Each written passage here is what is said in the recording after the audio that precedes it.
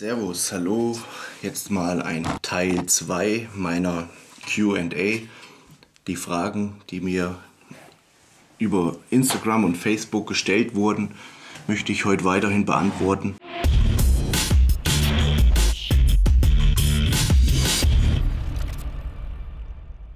Wie gleicht man seine Schwachstellen bestmöglich aus? Das hatte ich im letzten Video schon indem man sich einfach kritisch einschätzt, wo ist überhaupt meine Schwachstelle und trainiert die dann halt mit einem höheren Volumen, mehrmals die Woche gegebenenfalls und versucht dann einfach mit verschiedenen Trainingssystemen und Techniken ähm, die Schwachstellen zu verbessern. Zum Beispiel auch Time and Attention oder sowas. Frage zu anabolen Diäten. Machte ich jetzt vier Wochen. Kann, jeder, kann ja jeder für, für den Urlaub etc. gute Form haben, bla bla bla. Da ich jetzt zehn Tage in, der Türkei, in die Türkei fliege und zum Glück dort trainieren kann, kann man sich dort gut jeden Tag den Bauch vollschlagen oder solange man alles deckt. Oder kommt Jojo-Effekt zu schnell wieder, wenn, wegen den Carbs. Ja, es kommt immer noch an, wie lange die Diät gemacht hast, wie intensiv. Und wenn man dann einfach zu schnell die Kalorien hochschraubt, zu schnell die Kohlenhydrate hochschraubt und gegebenenfalls halt auch das Salz, dann kriegt man so einen Rebound dass man einfach viel Wasser einspeichert, weil einfach die Glykogenspeicher alle sich füllt.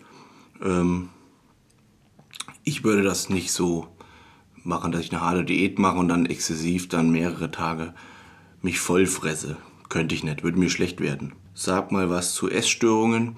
Ja, leider sind Bodybuilder eigentlich alle essgestört. In der Aufbauphase, da essen sie viel, dass dann schon fast schlecht wird. In der Diät, da müssen sie hungern. Ähm, da würden sie am liebsten bei zu viel Essen Finger in den Hals stecken, damit, damit man ja irgendwie mit dem Gewicht runterkommt. In der Aufbauphase freut man sich über jedes Gramm, was draufkommt. Also schon eine gewisse Essstörung. Deswegen muss man einfach aufpassen, dass man, gerade Frauen sind da sehr, sehr äh, empfänglich für, muss man aufpassen, dass man halt im, ja, im gesunden Rahmen bleibt, dass man sich nicht zu viel Stress macht, dass man sagt, okay, Aufbauphase, ähm, wenn eben zwei Kilo jetzt mehr nicht draufkommen, dann ist es eben so, man muss eben sein Bestes geben und darf sich dann nicht ganz so verrückt machen. Ähm, und auch in der äh, Off-Season, wenn man nicht super in Form ist, darf man sich auch keinen Stress machen. Ähm, man weiß, wie man aussehen kann und man kann nicht immer super gut aussehen. Das geht einfach nicht. Manche Bodybuilder bekommen das hin, aber ob die so immer glücklich sind mit ihrem Leben, ist dann die andere Frage. Essen und Trinken, wie mal schön grillen mit Freunden, das gehört einfach zu gesellschaftlichen hinzu. Da kann man natürlich auch sauber essen, klar, mache ich auch. Aber man muss eben auch mal eine 5 Grad sein lassen und ähm, ich denke, dass die gesündeste Variante ist. Welche Kohlenhydrate bevorzugst du nach dem Training? Gerne auch ein paar Beispiele und wie viel davon. Also nach dem Training esse ich meistens ähm, ein Päckchen Reiswaffeln, diese kleinen Päckchen, die es im Aldi gibt. Das ist eine Stange, 250 Gramm, abgepackt in 42,5 Gramm Päckchen. Davon esse ich ein Päckchen, dann trinke ich mein Createston. Da sind schon Kohlenhydrate drin. Und wenn jetzt in der De oder jetzt in der Aufbauphase steige ich vom Createston um und, und mische mir das einzeln. Da ähm, trinke ich nur Isolat und mache da Glucofast, Glucofast rein. Das sind so, ja, so Stärke ist das, Wachsmaisstärke sowas. Ähm, sind einfach dann schnelle Kohlenhydrate.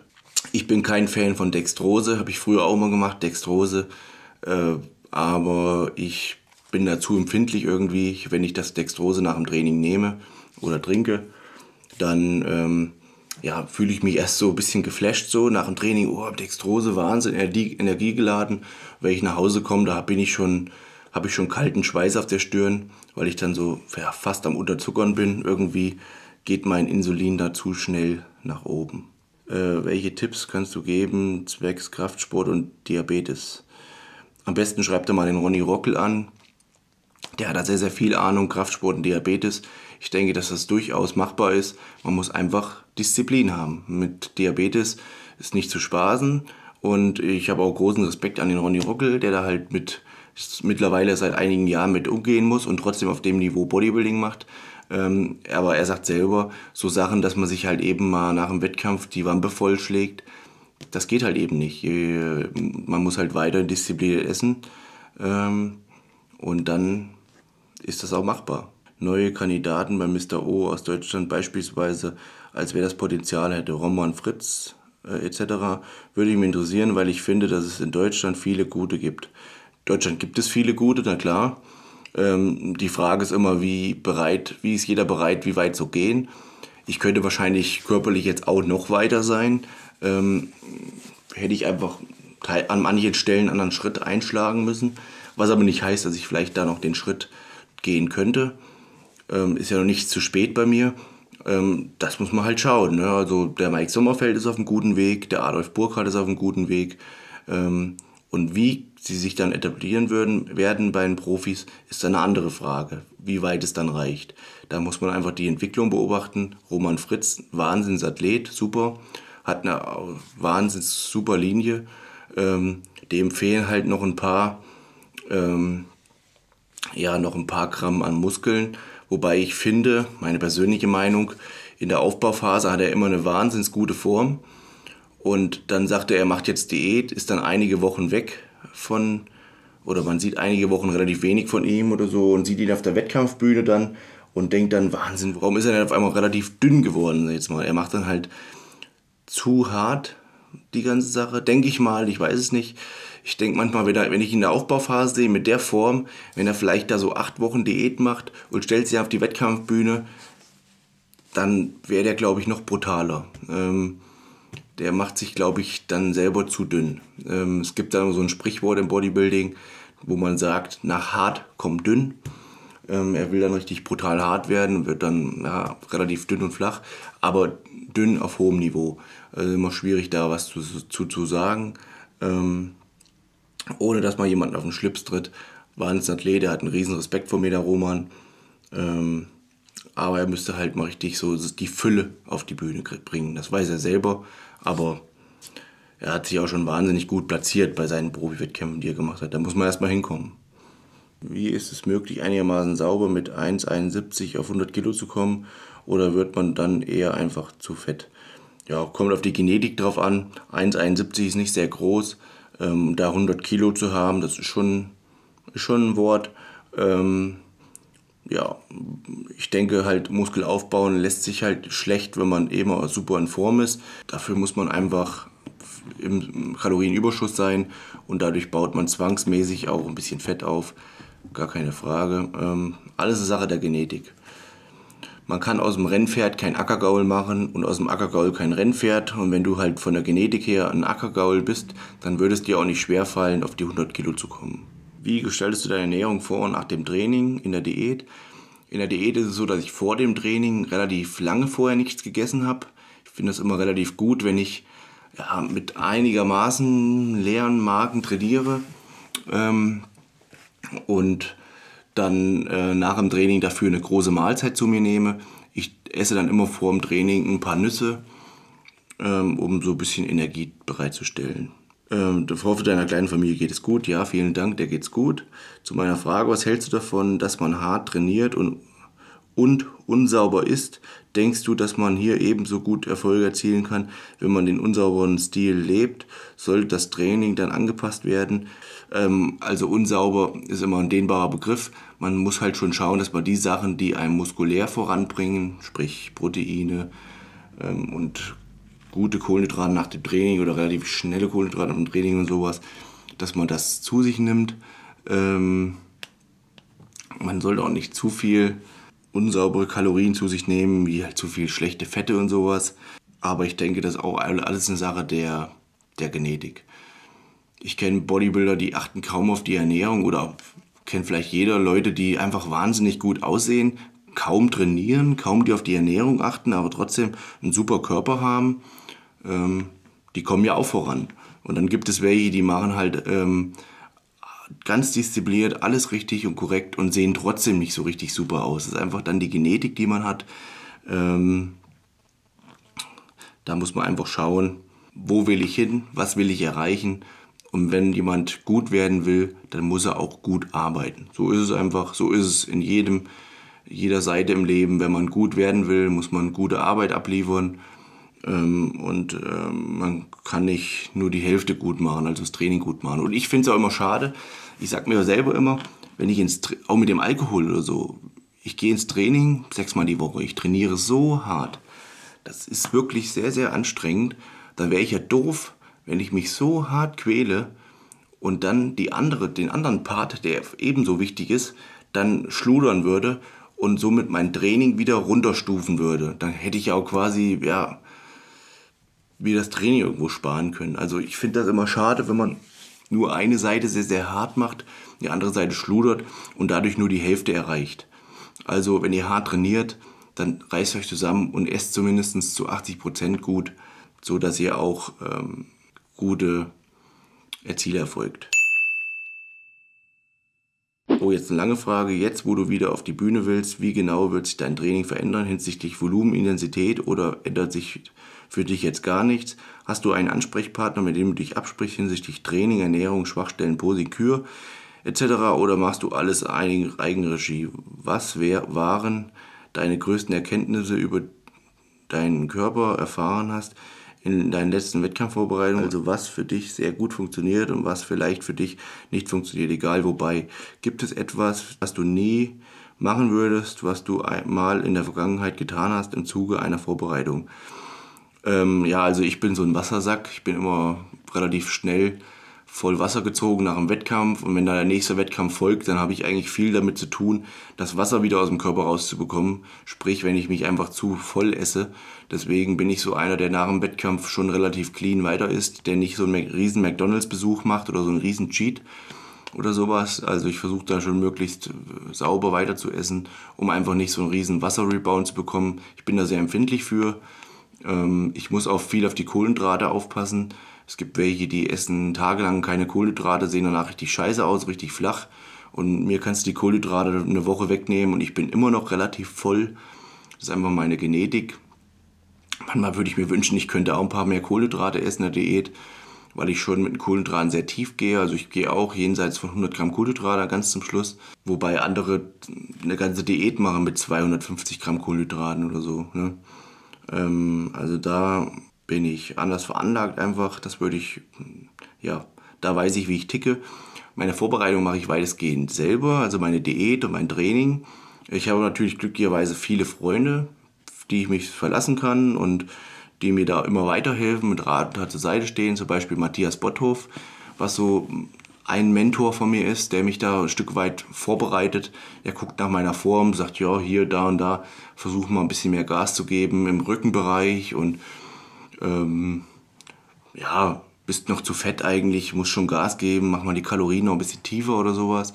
Da habe ich auch meinen alten Mentor, der mich quasi von klein auf schon erzogen hat in der Bodybuilding-Richtung, von dem ich auch vieles wertvolles Wissen ähm, gelernt habe. Das ist der Detlef Herget, ein sehr guter Freund mittlerweile, der mir halt auch einfach ja, mit Rat und Tat zur Seite steht, der mir hilft, den ich jederzeit fragen kann und somit würde ich jetzt sagen, habe ich nicht nur einen, ich, wo ich hingehe, der mich jetzt komplett vorbereitet. Natürlich, viele Köche verderben den Brei.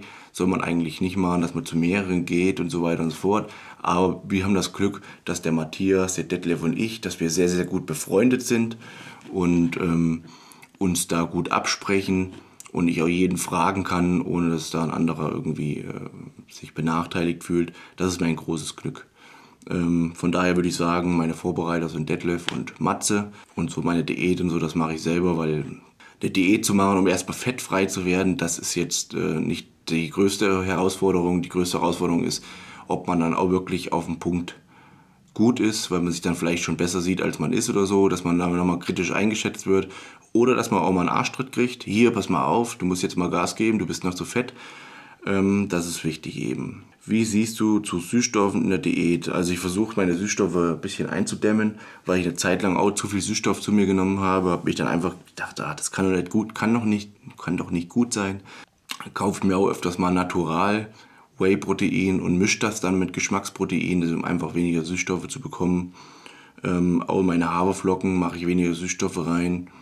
Ähm, mittlerweile habe ich mich da auch ja, so dran gewöhnt, viele Sachen naturell zu, zu essen. Hallo Tim, meine Frage wäre folgendes. Ich trainiere jetzt mit drei verschiedenen Ganzkörperplänen aus dem Grund, dass ich gerne Split-Training gern machen würde, aber ich durch die Arbeit nicht immer alle zwei Tage trainieren kann.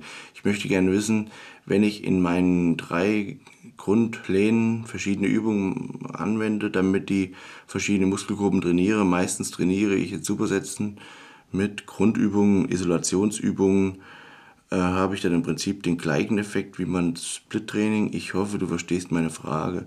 Ähm, ich verstehe deine Frage, allerdings bin ich der Meinung, dass wenn man halt bei Ganzkörpertraining, dass man die einzelnen Muskelgruppen nicht ganz so intensiv ähm, trainieren kann. Und es gibt ja immer man weiß ja, die Muskulatur wächst nicht im Training, sondern die wächst in der Regeneration und im Schlaf. Und äh, wenn ich jetzt viele Muskeln in einem Training, viele Muskeln quasi beansprucht habe, dann äh, muss auch viel regeneriert werden. Also alles in allem denke ich schon, dass man mit Ganzkörpertraining bis zum gewissen Punkt kommen kann. Bis zum gewissen Punkt ist jedes, jede Art des Trainings gut aber es ist immer eine Frage, wo man hin möchte. Und wenn man halt maximalen Muskelaufbau möchte, dann muss man den Muskel maximal trainieren. Und ich glaube nicht, dass ich aus Spaß zwei Stunden lang Rücken trainiere oder anderthalb Stunden lang Rücken trainiere. Das mache ich nicht, weil ich so lange plauder und babbel nebenbei, sondern einfach, weil mein Rückentraining so viel Zeit beansprucht. Und wenn ich das jetzt als Ganzkörpertraining machen würde, könnte ich nicht alles so intensiv trainieren und die eine oder andere Muskelgruppe würde eventuell zu kurz kommen. Von daher empfehle ich, ähm, Muskelgruppensplit zu machen. Und man kann durchaus mehrere Muskelgruppen zusammenfügen, wo es Sinn macht, wo man vielleicht dann mit Vorbelastung trainiert, zum Beispiel Rücken, Bizeps, Bizeps dann vorbelastet. Dann kann man den Bauch noch dazu trainieren, Schultern, Trizeps, da ist der Trizeps vorbelastet, kann man auch Waden dazu trainieren, weil man einfach dann eben die Waden ausgeruht hat und kann die sehr, sehr intensiv trainieren. Brust, Bauch und von mir aus äh, Beinbizeps oder sowas nochmal oder, oder, oder irgendwie ein zweites Mal Bizeps. Boah, müde. Was heißt genau eine Kohlenhydrat wirklich 0 Gramm? Wenn ja, wie bekommt man das hin? Also wenn ich immer meinen Athleten sage, keine Kohlenhydrate mehr, dann rede ich immer davon, keine konzentrierten Kohlenhydrate mehr, ähm, was nicht heißen soll, dass man kein Gemüse mehr essen darf. Ähm, man muss halt sein Essen tracken und man soll jetzt nicht 1,5 Kilo Gemüse essen. Aber meistens, wenn ich sage, keine Kohlenhydrate mehr oder wenn ich den Athleten sage, Entladetraining, dann sollen die halt eben keine konzentrierten mehr, mehr essen wie Kartoffeln, Reis etc., Nudeln. Das sollen sie weglassen und sollen dafür lieber äh, Fleisch, Gemüse essen ähm, und dann eben schon das Gemüse auch abwiegen, dass man dann nicht mehr wie 60 Gramm Kohlenhydrate zu sich nimmt oder 50. Aber da muss man schon einiges an Gemüse essen, bis man soweit ist. Wie gehst du mit Alkohol um und trinkst du überhaupt welchen? Ähm, ja, ich trinke ab und zu mal Alkohol, aber ganz, ganz selten. Ähm, ja, wie ich einfach sage, Freunde, Familie ist das Wichtigste und es ist einfach so was Gesellschaftliches. Ähm, und wenn wir da mit Freunden mal grillen oder wenn ich auf einen Junggesellenabschied bin, trinke ich auch mal ein Bier oder zwei Bier mit. Aber mir schmeckt es nicht sonderlich und das war es dann auch schon. Weil ich dann auch wieder denke, ich habe die ganze Woche hart trainiert. Wenn ich mir jetzt richtig einen in Schlappen haue, dann ja, ist doch das Training ja, nichtens oder kontraproduktiv. Ähm, und von daher trinke ich nicht so viel, weil es mir einfach auch nicht so gut schmeckt. Äh, kann mich an der Stelle mal meinen Freunden bedanken. Ich hatte es neulich schon mal gepostet. Die haben halt sehr großes Verständnis dafür. Und das finde ich halt schon mal super. Keiner nervt mich, keiner sagt, äh, Budesheim trinkt eh nichts, den nehmen wir nicht mit. Ähm, von daher mm, finde ich das gut. Aber die wissen auch ganz genau, wenn es nicht drauf ankommt und wir wollen eben mal ein Bierchen trinken, dann trinke ich auch mal eins mit. Sagen sie mir hin und wieder mal out, ach hier, das findet mir ja cool, dass du mal ein Bierchen mittrinkst. Ich denke, das muss sein, aber es ist bei mir nicht so die Regel. Hey Tim, welche Supplemente kannst du Anfängern empfehlen? Ab wann sollte man welche nehmen? Ähm, kann ich demnächst noch mal ein Video zu machen, rein zu Supplementen. Also ich kann empfehlen die EAAs. EAAs sind acht essentielle Aminosäuren, die man für den Muskelaufbau braucht die der Körper nicht produzieren kann. Ein gutes Whey-Protein ist wichtig, dass man eben sagt, hier das Whey Fusion zum Beispiel von Peak, dass man eben sagt, hier, äh, man ist unterwegs, man hat wenig Zeit oder morgens, man ist immer, immer auf dem Sprung, dann macht man halt ein Whey-Protein, macht ein paar Instant-Flocken rein und zack, hast du eine Mahlzeit, fertig. Ähm, das ist ziemlich gut. Kreatin ist gut, ne? hilft der Regeneration und auch dem äh, dem Training, dass man einfach praller ist im Training, mehr, was, mehr, mehr, Puss, mehr Pump hat im Training. Ja, Ernährung an der Arbeit sollte genauso aussehen wie Ernährung zu Hause. Ich esse an der Arbeit auch meinen Tatar mit Nudeln oder Reis oder so. So sollte man das machen. Ähm, ein guter Tipp ist vielleicht, wenn man äh, mal knapp dran ist und man hat kein Essen vorgekocht, was man mit an die Arbeit nehmen kann. Zum einen gibt es diese Fit Taste Gerichte. Hier unten ist ein Link drin. Da könnt ihr mal reinschauen, könnt ihr euch mal so ein paar Packungen Fit Taste bestellen, zu Hause in die Tiefkultur legen. Ist natürlich nicht ganz so günstig, das weiß ich auch, aber halt mega, mega praktisch. Und wenn du sowas mal in der, in der Truhe hast, dann kannst du eben morgens vor der Arbeit mal schnell reingreifen und hast eine vollwertige Mahlzeit dabei und soll ja nur aus der Not heraus helfen. Ähm, man muss mal überlegen, du hast dann ein, Menü, was, was äh, wirklich gut schmeckt und auch sehr gesund ist. Und wenn ich jetzt zu Burger King gehe oder zu McDonald's und möchte, möchte äh, satt werden und hole mir zwei Burger und eine Cola, dann habe ich schon genauso viel ausgegeben wie für das Fit Taste Gericht. Also da muss man wirklich mal schauen. Ist immer alles eine Sache der Wertschätzung. Auch ich würde in einem Studio, wo ich mich wohlfühle, immer mehr Geld zahlen wie in einem Studio, wo ich einfach sage, ach, fühle ich mich nicht ganz so wohl. Achso, und mein brennender Tipp, was noch gut ist, einfach sich Thunfisch an die Arbeit zu legen mit Reiswaffeln. Das hält sich ewig und man kann immer drauf zurückgreifen. Supplements auch an trainingsfreien Tagen, wenn ja, wie viel. Kommt auch auf den Tagesplan drauf an. Also ich trinke zum Beispiel meinen Wave Fusion mit meinen Instant-Flocken, trinke ich jeden Morgen. Ähm, dann manchmal mache ich mir im Sommer mittendrin, während der Arbeit, mache ich mir mal äh, ein Glas voll EAAs und trinke das. Ja, meine Magnesium, Zink, das nehme ich sowieso immer, Omega-3, also meine Fischölkapseln. Ab wann gehst du deine Wettkampfdiät und wie hart ist die am Ende für dich bezüglich deines Gemütszustands? Bist du dann sehr reizbar oder hält es sich noch in Grenzen? Bei mir ist es so, ich werde dann einfach eher ruhig, ich rede nicht ganz so viel ähm, aber ich werde da jetzt nicht aggressiv oder sowas. Und eine Diät fällt mir auch nicht ganz, was heißt, fällt mir schon am Anfang leicht, aber am Ende geht es mir auch natürlich auch an die Substanz. Da habe ich auch ganz schön Hunger und Knast. Es gibt ja welche, denen fällt das leicht, die können das ganze Jahr machen. Mir fällt es jetzt nicht schwer, dass ich jetzt sage, es ist mir übermäßig schwer, aber die letzten Wochen vor dem Wettkampf muss man natürlich schon mal beißen. Man kriegt nichts geschenkt. Hey Tim, bin zurzeit 16 Jahre alt und will auf die Bühne, Bands Physikklasse. Dafür brauche ich aber ein IFBB da ich das nicht habe und mein Fitnessstudio auch nicht, was könntest du mir da empfehlen? Komme aus NRW. Ähm, aus NRW kann man sich am besten mal in Hagen in dem Vitalis ähm, Fitnessstudio Vitalis ähm, mal melden. Da gibt es äh, einige Vorbereiter, die da Athleten vorbereiten. Und ähm, über das Vitalis kann man dann auch starten, wenn man aus NRW kommt, auf der nordrhein-westfälischen Meisterschaft.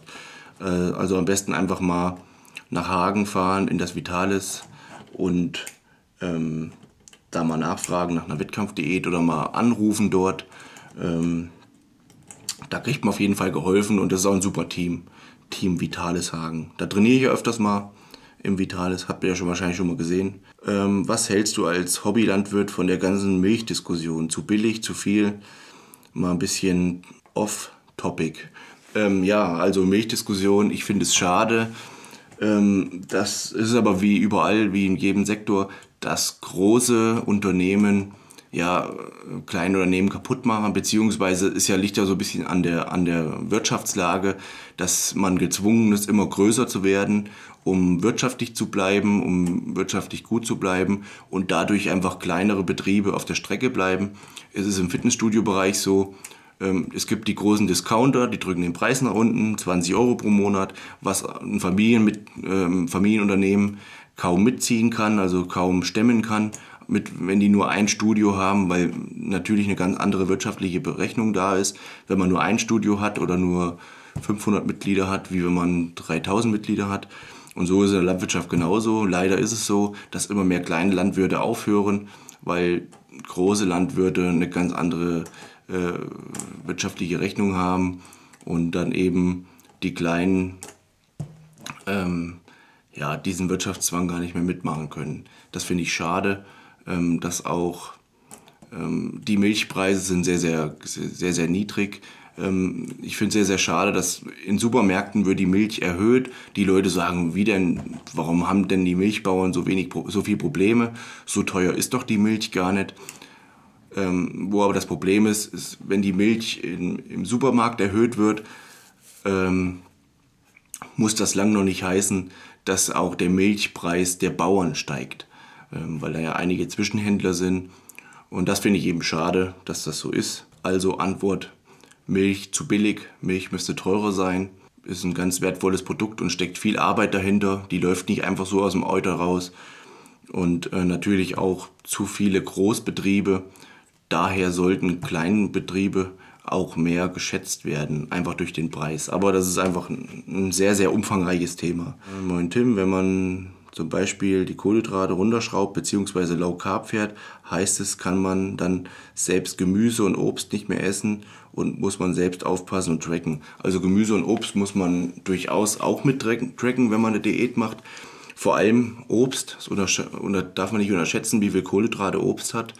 Ähm, und von daher würde ich sagen, ja, alles tracken und es kommt auf die Gesamtkalorien oder auf die Gesamtkohlenhydrate drauf an. Also wenn dein Vorbereiter, wenn man dir sagt, hier, pass mal auf, ess jetzt 200 Gramm Kohlenhydrate, dann heißt es nicht 200 Gramm Kohlenhydrate in Form von Reis und Gemüse und Obst kannst du essen, sondern gesamt 200 Gramm Kohlenhydrate. Das ist ganz, ganz wichtig, weil man selbst mit Gemüse und Obst, wenn man das ausgiebig isst, ruckzuck über sein Tageslimit hinauskommen kann. Übrigens in der Diät wenn man nicht mehr von den Kalorien nicht mehr so viel Obst essen kann oder wenn man einfach ein Obstmuffel ist oder Gemüsemuffel ist, gibt es da wieder auch sehr wertvolle Supplemente. Red Fruits zum Beispiel von Peak, was man zu sich nehmen kann, um einfach seine Mikronährstoffe, die in dem Gemüse jetzt drin wären, abzudecken. Wer jetzt zum Beispiel Äpfel isst, um so auf seinen Vitaminhaushalt zu kommen oder so, da muss man aufpassen, das sind viele Druckschlüsse, weil heutzutage einige Äpfel mittlerweile auch so, ja, sagen wir, gezüchtet sind, ähm, auf Wachstum gemacht sind, dass da so viele Vitamine, wie man denkt, gar nicht mehr drin sind. Wie ist dir genommen, so einen breiten Nacken zu bekommen und hat dich mal jemand versucht am Hals zu packen? Hm, nee, hat niemand versucht. Vollzeitjob, Familienvater, Seminare, Messen, Videos drehen und auch sonst ständig unterwegs, Holz hacken und Hobbylandwirt. Lasse ich mal außen vor. Wie kommst du mit 24 Stunden aus? Wie teilst du es auf? Wie schläfst du? Und wie viel Zeit verbringst du im Studio? Im Studio verbringe ich meistens so circa drei Stunden. Ähm, natürlich ist das alles eine zeitliche Herausforderung, mein Tagesablauf. Es wäre schöner, wenn der Tag ein bisschen länger wäre. Ähm, von daher kann ich auch nur sagen, meine Variable ist meistens der Schlaf. Ich habe meistens zu wenig Schlaf, was natürlich auch nicht gut ist. Jetzt in der Vorbereitung muss ich da meine Prioritäten etwas verschieben, damit ich einfach etwas mehr schlafe. Ähm, es wird dann wahrscheinlich so sein, dass dann einfach äh, bis zum Wettkampf hin meine Familie etwas, ja, nicht zu kurz kommt, aber etwas ähm, runterschrauben muss, die Zeit mit der Familie, um einfach auf dem Wettkampf gut abliefern zu können. Mein Tagesablauf hat demnach um die 19 Stunden, also ich habe um die 5 Stunden Schlaf und ähm, da muss ich mit auskommen, wie jeder andere auch. Thomas Scheu hat in seinem letzten Videopost gesagt, dass eine gute Diät auch ohne Cardio ablaufen kann. Dem stimme ich auch vollkommen zu. Kannst du dennoch deine Meinung dazu geben und kurz darauf eingehen, wie du so deine Art Diät äh, angehen wirst, würdest? Ich finde den Ansatz doch sehr interessant. Also über meine Diät und über meine Wettkampfvorbereitung werde ich noch ein ausgiebiges Video machen. Ich mache Cardio in der Diät, weil ich ein Fan davon bin, einfach etwas mehr zu essen, aber dafür etwas mehr Training zu machen. Ähm, und ich bin auch der Meinung, dass durch das Cardio etwas mehr Details in Beinbeuger und Gluteus kommen. Kann natürlich auch einfach persönlich meine persönliche Meinung sein. Jeder muss eine persönliche Meinung haben und wenn der Thomas damit super fährt, natürlich kann er weitermachen. Ich fahre damit ganz gut, ein bisschen Cardio zu machen, was aber auch nicht heißen soll, dass ich jeden Tag eine Stunde mache. Ähm, ich halte das auch relativ moderat. So trackst du deine Kalorien im Aufbau oder, oder und in der Diät. Im Aufbau track ich sie, ja, sagen wir mal zu 70, 80 Prozent. Ähm, ich habe das dann schon ganz gut im Gefühl, wie viel Haferflocken ich esse. Irgendwann ist das ja, ich esse ja immer dasselbe, immer, also immer das Gleiche. Irgendwann ist das wie Laufen. Man denkt mal ja drüber nach, man, geht, man läuft einfach. So ist es bei der Ernährung auch. Irgendwann hat man das einfach im Gefühl und macht das einfach. Und wenn mal was dazukommt, dann track ich das, dann rechne ich das ein. Wie trainiere ich effektiv meine Waden? Also Waden mit einem hohen Volumen, mindestens zweimal pro Woche, auch mit schwerem Gewicht, aber auch mit sehr, sehr viel Wiederholungen. Trends wie zum Beispiel Intermittent Fasting 2.0 oder ketogene Ernährung eher fragwürdig, Fragezeichen. Ketogene Ernährung ist nicht so mein Fall, also ich bin lieber der Metabole-Diät. Intermittent Fasting ist auch einfach nur ein Werkzeug, was man nutzen kann. Ähm, ist nicht schlecht. Mm, dadurch kann man einfach mehr Kalorien oder mehr Kalorien nicht. Man kann einfach ähm, größere Mahlzeiten essen, weil man einfach in der Phase, in einer längeren Phase nichts isst. Dadurch, dass man da nichts isst, hat man auch keine Insulinausschüttungen, sprich keine Hungerattacken und kann dann eben man muss, am Anfang ist es sehr gewöhnungsbedürftig und man kann dann eben seine Mahlzeiten, seine, weiß ich, 2000 Kalorien in einem kleineren Zeitfenster essen und dadurch sein Gewissen auch be äh, besser befriedigen. Ähm, wie gesagt, ist nur ein Werkzeug, was man nutzen kann und für Frauen, weil Frauen ja im Allgemeinen weniger Menge essen können, durchaus eine gute Sache. Die müssen zwar länger dann eisern bleiben, aber können dann einfach ja, größere Portionen essen, wie immer nur so kleine winzige Portionen. Portionchen. Gibt es eine Formel, die bei jedem klappen sollte im Punkto Ernährung, zum Beispiel 500 Gramm Huhn, 200 Gramm Reis, 100 Gramm Gemüse und so weiter. Die meisten Leute, die Aussagen treffen, sind leider nicht zu mehr als ganz leicht. Doch damit können die am wenigsten was anfangen. Ähm, ja, das stimmt. Man kann nie sagen, wie viel jemand braucht. Man muss da immer so ein bisschen ähm, ausprobieren, was jetzt wie der, äh, der einzelne Körper reagiert. Ich würde da auch immer von Kalorien anfangen, so bei also als Mann jetzt bei 3500 Kalorien, aufgeteilt in 40, 40, 20. Und danach kann man eben schauen, wenn man dann eben zunimmt, dann muss man eben die Kalorien etwas reduzieren. Und wenn man ähm, dabei ähm, zu viel abnimmt, kann man die Kalorien etwas erhöhen. Aber das sollte so, so ein Mittelmaß sein. Hi Tim, mich würde mal interessieren, ob auch Profis ab und an mit Verletzungen, wie zum Beispiel Entzünden, Sehnen, Gelenke äh, und so weiter, Bizepssehne entzündet und was dagegen unternimmt. Also ob wir auch Verletzungen haben als Profi. Natürlich, wir sind auch nur Menschen, wir können uns auch verletzen. Ich habe das Glück, toi toi toi, ich klopfe mal auf Holz. Ich habe mich noch nicht so stark verletzt ähm, ist einfach auch eine Genetiksache und natürlich auch eine Gewissenssache. Wie gewissenhaft gehe ich mit meinem Körper um? Wie gewissenhaft trainiere ich? Wie hältst du es mit dem Dehnen? Was rätst du vor dem Training, nach dem Training? Also Dehnen mache ich äh, fast immer vor dem Training, dehne ich mich durch. Auch direkt an, an Übungen, die ich einfach dann wirklich weit in den negativen Bereich gehen lasse, wie zum Beispiel bei Brust, dann Butterfly, da dehne ich mich. Beim Beintraining dehne ich mich vorher mit typischen Dehnübungen und nach dem Training dehne ich mich auch nochmal grob durch. Aber ja, Mobility soll man nicht vernachlässigen. Sind Carbs wegzulassen, wenn man sehr spät abends trainiert? Wie viel, äh, viele sagen, dass man, man sollte mindestens 50 Gramm Carbs nach dem Training essen. Also wie schon erwähnt, nach dem Training und vor dem Training sind die Kohlenhydrate am wichtigsten, einfach weil Insulin das anabolste Hormon ist, was der Körper besitzt das Eiweiß, die Proteine auch dahin kommen müssen, wo sie hin sollen, was, wo quasi, wo man sagen kann, dass Insulin für zuständig ist. Und äh, von daher würde ich sagen, auf jeden Fall, auch wenn man abends um 8 Uhr trainiert, danach noch Kohlenhydrate essen, auch als Frau. Es kommt immer darauf an, wie viel Kohlenhydrate esse ich gesamt am Tag. Und ähm, das muss man im, im Augenschein behalten. Wie viel Gesamtkohlenhydrate esse ich pro Tag? Und ähm, auf jeden Fall noch so viel übrig lassen, dass ich nach dem Training nochmal eine Kohlenhydratmahlzeit essen kann. Hast du vor, mal in Pfalz einen Vortrag zu halten? Das ist die letzte Frage, die ich beantworten werde. Also ist immer so, Seminare und Vorträge halte ich immer da, wo ich eingeladen werde. Also wenn ihr irgendwo ein Studio habt oder äh, einen Bodyshop, dann schreibt mich an oder die Firma Peak an. Wenn die Peak Produkte verkaufen, könnt ihr auch die Firma, Firma Peak machen. Und ähm, die laden mich dann ein, dann komme ich dorthin und halte da ein Seminar oder einen, Vort also einen Vortrag oder ich, wie auch immer, was gewünscht ist oder ich komme zu einer Sommerfeier. Das äh, ist alles möglich. Ähm, ja, je nachdem, wie es und wo es gewünscht ist. Und natürlich, wie mein Terminkalender aussieht, wie ich Zeit habe. Aber ich gebe mir da immer große Mühe, da die meisten Termine irgendwie unter einen Hut zu bekommen. Ja, jetzt haben wir doch wieder viel geredet, aber ich denke, einige Fragen eventuell beantwortet. Ähm, ich hoffe, dies war soweit zufriedenstellend.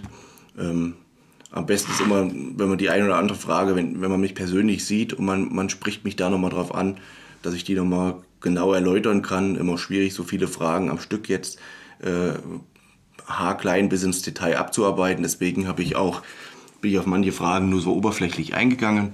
Nicht, dass wieder manche sagen, hey, der macht ja Pro-Science.